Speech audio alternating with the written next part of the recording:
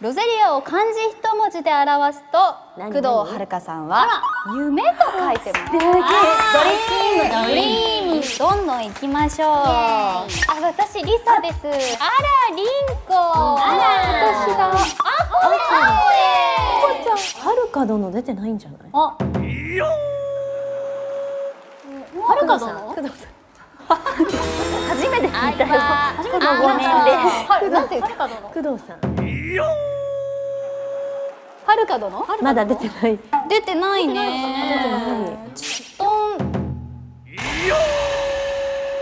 はるか殿はるか殿太陽が出ましたサインコード出ないね出ない出ない